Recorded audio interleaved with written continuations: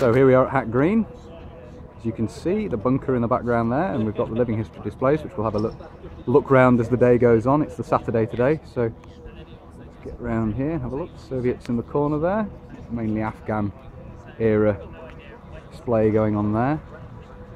Uh, radio truck, and we have an RAF display here by the Jet Provost, which we'll go and have a look at in a bit more detail in just a moment or two.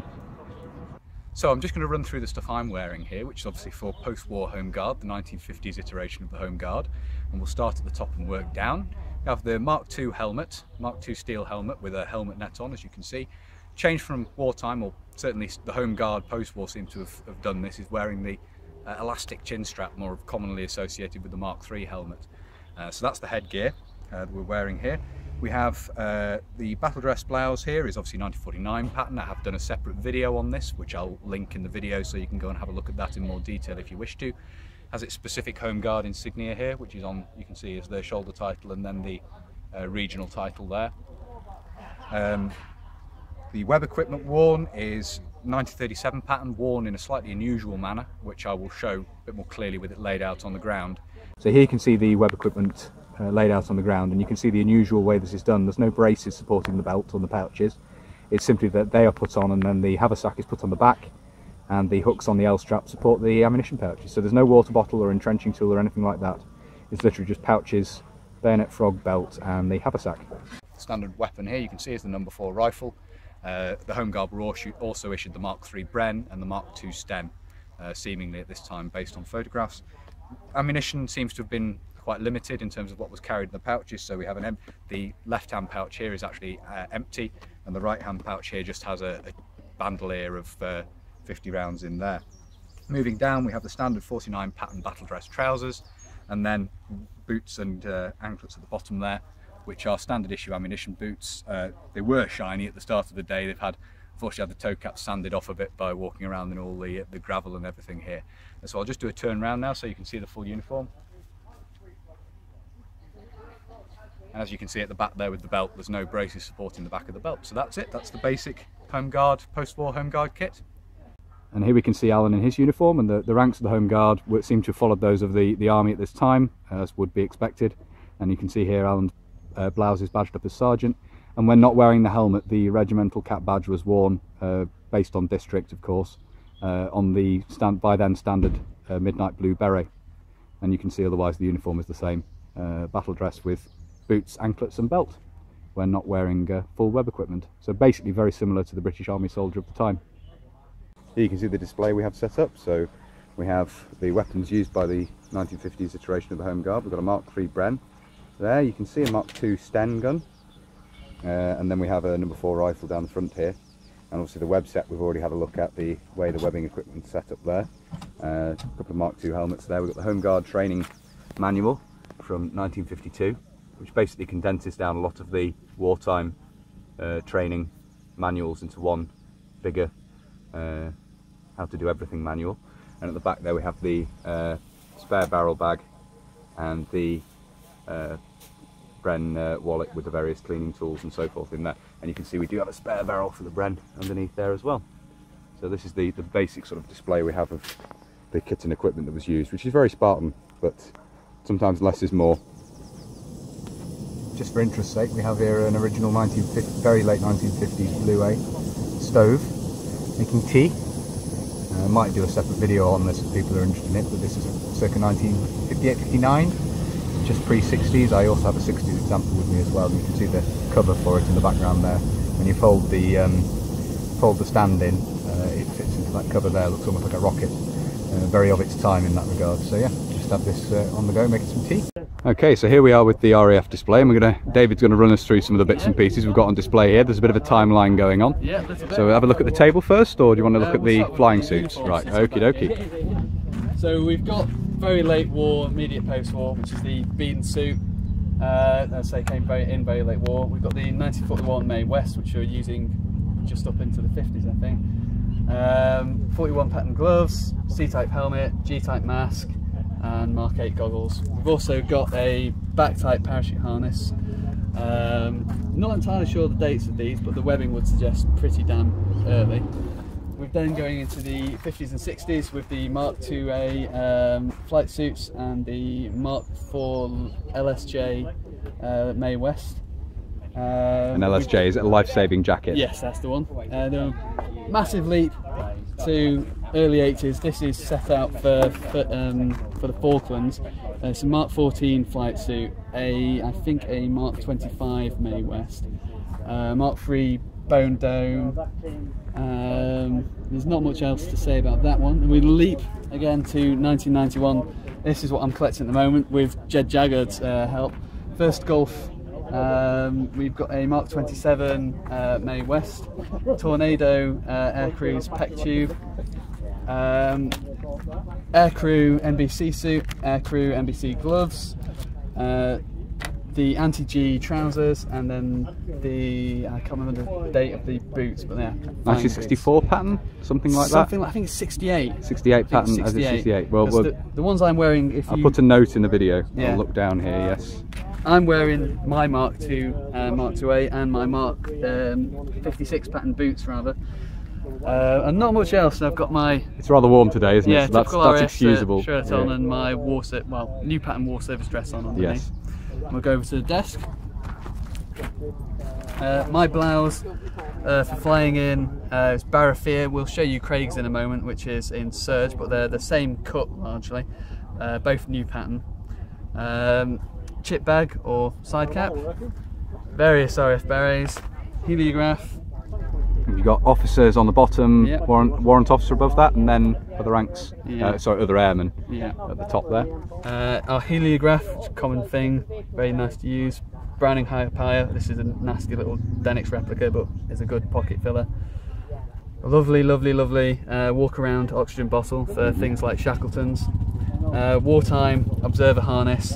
Uh, this is Craig's example, which is, as you can see, absolutely gorgeous. And these were also worn into the 50s? Yes, yeah, yeah. And Excellent. later, yeah. And Marvellous. that's our kit, really. Yes.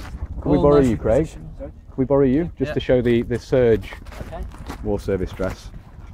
Okay. And this is the serge version of the, the new pattern uh, war service dress, which is the standard issue version that was issued to uh, other airmen, uh, right through officers, though, as we've already seen here, the barathea version, which some officers would have tailor made. So there we are. That's a look at the RF display. Thank you very much, chaps. That's brilliant.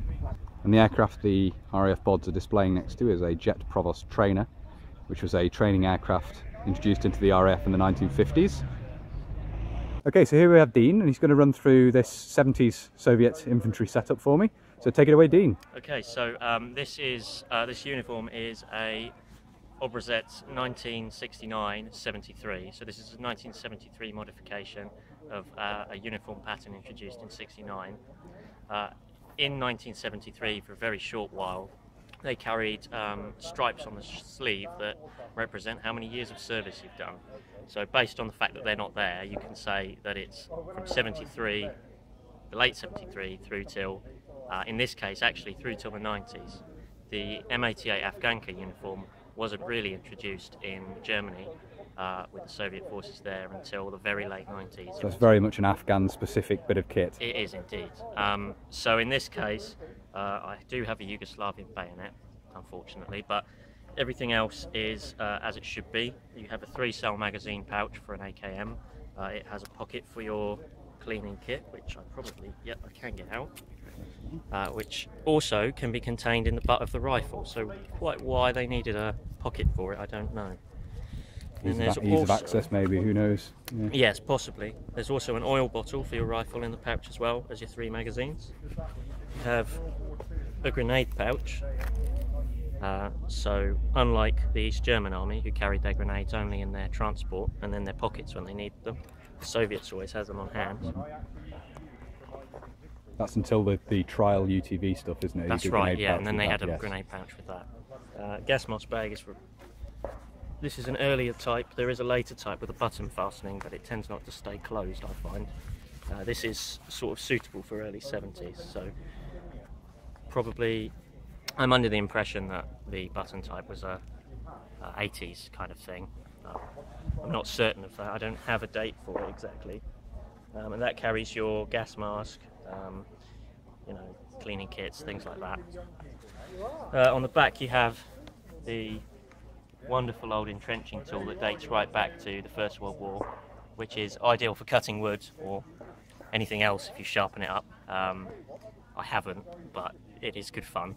I have cut up a box with it, that's quite entertaining. And you have, again, a canteen that dates back to the war. In this case, this is a 1982 stamped example, um, but it's exactly the same. The rifle, this is a uh, 1976 Tula produced AKM, or I should say a replica thereof. This is actually an airsoft model um, with plywood furniture and in this case a Bakelite magazine, uh, also a Tula produced magazine.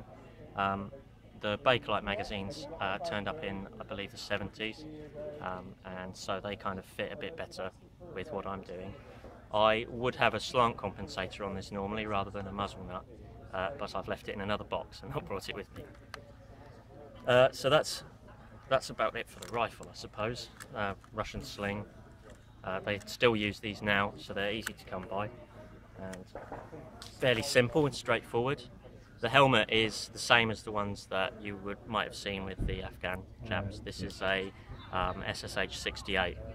Um, the best example for this for me for motor rifles would be um, either a 40M or a 60M, which is the World War II pattern of helmet, um, sometimes with a new liner, and in both cases with a Y uh, Y-strap suspension system, intended to stop it from sliding down your head, but it never really works.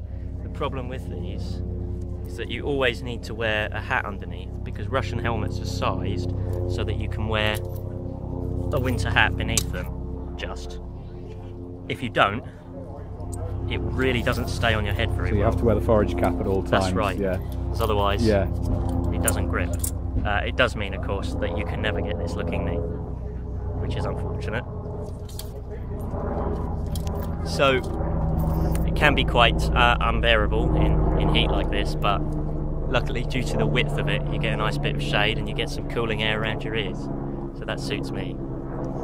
Uh, the uniform itself is made of cotton, so again, in this kind of heat, it's much more bearable than uh, And that's pure cotton, is it? that's not, right, Not pure cotton in this case.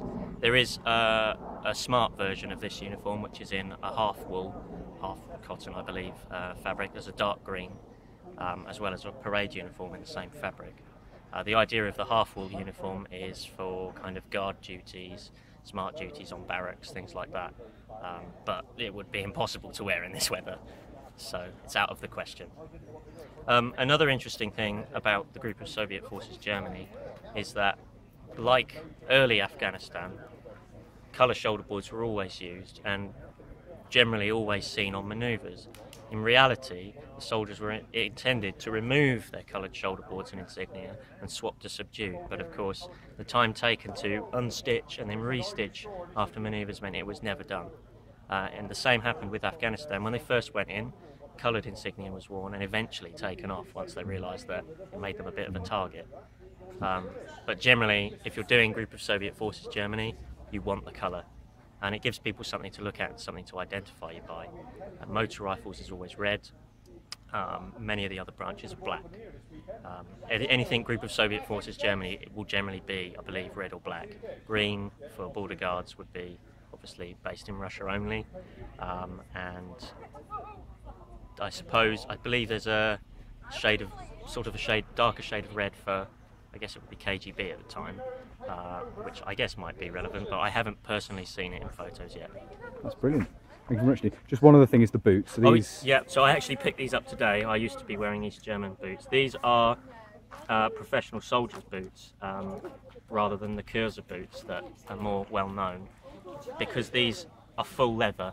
Um, the conscript boots, the kirza, have these fake leather shafts which are supposed to be incredibly uncomfortable and unbearable, but they're a lot taller than, um, say, East German boots, in, whether uh, enlisted or professional soldiers' boots, and they have a much wider round of uh, toe.